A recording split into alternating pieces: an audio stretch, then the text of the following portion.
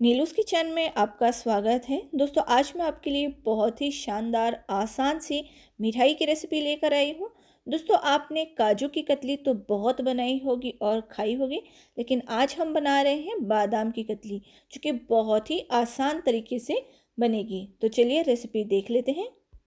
इस मिठाई को बनाने के लिए हमने यहाँ पर ले लिया है एक कप बादाम, जो घर पर नॉर्मली इस्तेमाल किए जाते हैं। ये वही बादाम है इसमें डालेंगे हम गर्म पानी। पानी हम यहाँ पर दो कप डालेंगे और ये काफ़ी खोलता हुआ गर्म पानी है। इसमें डालकर हम इसे दो घंटे के लिए छोड़ देंगे ताकि बादाम अच्छे से भीग जाए और इसके ऊपर के जो छिलके हैं वो इजीली निकल जाए। तो ये देखिए हम इसे हल्का सा प्रेस करते हैं तो इसके छिलके बहुत ही आसानी से हट जाते हैं। इसी तरीके से हमें सारे बादामों को साफ़ कर लेना है। और ये देखिए, ये अच्छे से साफ़ हो चुके हैं। अब हम इसे एक साइड रख देते हैं। अब जितने हमने बादाम लिए हैं, उसकी आधी हमें शक्कर लेनी है और शक्कर की आधी हमें लेना है पानी। मतलब वन फोर्थ कप लेना है पानी। तो ये मेज़रमेंट बहुत आसान है ध्यान में रखने के लिए कि हमने जितनी इंग्रेडिएंट ली है, उसके आधे आधी सारी चीज़ें लेनी है। अब हम लेंगे एक मिक्सी का जार। इसमें डालेंगे बादाम, शक्कर और पानी। तीनों चीज़ हम एक साथ डाल देंगे और इसे ग्राइंड करेंगे। लेकिन एक बात का ध्यान रखें, आपको पानी इससे ज़्यादा नहीं डालना है, वरना आपकी मिठाई सेट नहीं होगी। पानी कम होने की वजह से इसे ग्राइंड करने में थोड़ी परेशानी ज़रूर होगी, लेकिन आप छोटे जार में इसे पीसेंगे तो ये आसानी से पीस जाएगा। अब हमें लेना है एक कढ़ाई। कढ़ाई में हमें ये सारा मिश्रण डाल देना है और इसे गैस पर रखकर हमें इसे पकाना है। देखिए, इस मिठाई को बनाने के लिए इसकी जो कुकिंग स्किल है, वही बहुत ही इंपॉर्टेंट है। तभी आपकी मिठाई अच्छी बनेगी और सेट भी होगी।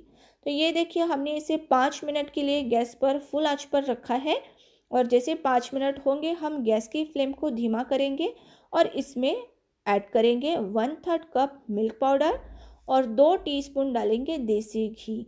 जी हाँ मिल्क पाउडर से इसमें टेस्ट काफ़ी अच्छा आएगा और घी डालने से इसमें एक बहुत ही अच्छा शाइन आएगा। साथ ही टेस्ट भी इस बर्फ़ी का कई गुना ज़्यादा बढ़ जाएगा। अब हमें इन सारी चीज़ों को अच्छे से मिक्स करना है और इसे पकाना है। देखिए, यहाँ पर हमने पीसते वक्त पानी भी डाला है, साथ ही शुगर भी है तो इन दोनों का जो मॉइस्चर है, इसे सूखने तक या ड्राई होने तक हमें इसे कंटिन्यूसली चलाते हुए कुक करना है। जब तक हमारा मिश्रण अच्छे तरीके से गाढ़ा ना हो जाए या फिर वो आटे की तरह या फिर डो की तरह बिल्कुल न बन जाए, तब तक हम इसे पकाएँगे। तो देखिए, लगभग दस मिनट के बाद आप देख सकते हैं जो मिश्रण है हमारा किस तरीके से गाढ़ा हो चुका है और वो कढ़ाई को छोड़ने लगा है। लेकिन फिर भी आपको धीमी आँच पर इसे पाँच मिनट के लिए और पकाना है ताकि इसके अंदर का जो मॉइस्चर है वो कम्प्लीटली ड्राई हो जाए। बहुत ज़रूरी है जब तक ये ड्राई नहीं होता, तब तक आपको इसे पकाना है। तो ये देखिए, अब ये अच्छे तरीके से ड्राई हो चुका है और अब यह हमारा मिश्रण तैयार है। अब हम इसे एक बेकिंग पेपर के ऊपर या फिर बटर पेपर के ऊपर या फिर नॉर्मली घर पर जो प्लास्टिक का पेपर होता है, उसे लेना है। उसके ऊपर हमें ये सारा मिश्रण डाल देना है। और अब हम जो चम्मच या स्पैचुला के ऊपर जो सारा मिश्रण लगा हुआ है, उसे भी एक चम्मच से या फिर घी लगी हुई चम्मच से हम ये सारा मिश्रण इसके अंदर डाल देंगे। और इसके ऊपर हल्का सा घी लगाकर हमें इसे मसलना है। जी हाँ अभी ये काफ़ी गर्म है तो इसे हैंडल करने में थोड़ी प्रॉब्लम ज़रूर हो रही है, लेकिन आप इसे हल्का ठंडा होने के बाद ही इस तरीके से मसलिए ताकि आपको ये ज़्यादा गर्म ना लगे। मैं तो इसी तरीके से अभी तुरंत ही कर रही हूँ। तो ये देखिए जैसे जैसे हम इसे मसल रहे हैं, इसमें बहुत अच्छा शाइन आ रहा है और ऐसा करने से देखिए, मिठाई जब हम सेट करेंगे तो इसके ऊपर ड्राइनेस बिल्कुल भी नहीं रहेगी और ये बहुत ही स्मूथ और टेस्टी बर्फ़ी बनकर तैयार होगी। तो ये देखिए, हमने इसे अच्छे तरीके से मसल लिया है। इसे आप इस तरीके से ज़रूर मसलें और इसका हमें एक बड़ा सा पेड़ा बना लेना है। और इसके ऊपर भी हल्का सा घी लगाकर एक दूसरा वाला बटर पेपर या फिर बेकिंग पेपर रखकर हमें इसे बेलना है। यहाँ पर आप इसे लगभग आधा इंच या फिर उससे थोड़ा कम मोटाई में इसे आपको बेलना है, ताकि आपकी बर्फ़ी की जो शेप है वो बहुत अच्छी तरीके से दिखेगा मतलब वो अच्छी एक बर्फ़ी का शेप ले लेगी।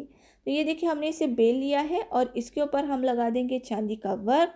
अगर आपको स्किप करना है तो आप कर सकते हैं और इसे हमें लगभग दो से तीन घंटे के लिए इसी तरीके से रख देना है क्योंकि ये अच्छे से सेट हो जाएगी, ठंडी हो जाएगी, तभी हम इसे काटेंगे। तो ये देखिए, ये अच्छे से ठंडी हो चुकी है। अगर आपको जल्दी हो तो आप इसे फ्रिज में रख कर भी ठंडा कर सकते हैं। अब हम इसे काटेंगे और इसे आप तेज़ चाकू से काटें ताकि आपकी जो बर्फ़ी है वो अच्छे शेप में कटे।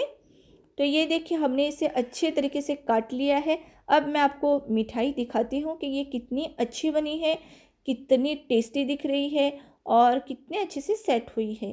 अगर आपकी मिठाई अच्छे तरीके से पक गई है तो वो अच्छे से सेट होगी और इस तरीके से टेस्टी, सुंदर, बिल्कुल हलवा स्टाइल दिखेगी।